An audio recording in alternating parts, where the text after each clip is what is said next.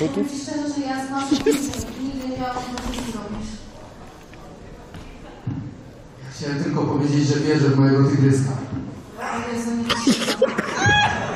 Ale Ale kurwa cringe. co ten twój zrobił?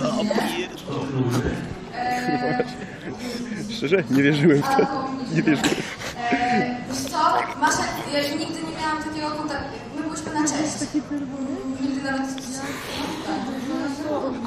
Ciężko, ciężko. Nie miałam taki kontakt z jakimś Masza, to jest tak straszne.